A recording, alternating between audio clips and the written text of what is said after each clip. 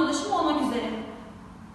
Küçük kan dolaşımı kalpten çıkan karbondioksitçe zengin kirli kanın akciğerlere gidip oksijence zenginleşerek temizlendikten sonra tekrar kalbe geri dönmesidir.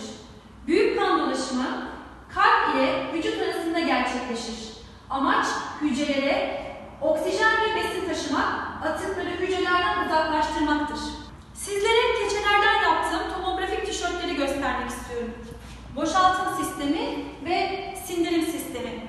Bu etkinlik ile öğrencilerimiz iç organlarımızın yapısını, yerlerini, sindirim, boşaltım, solunum sistemi organlarını kendi yaptıkları eğlenceli ve komik tişört tasarımlarıyla öğrenebilmektedir.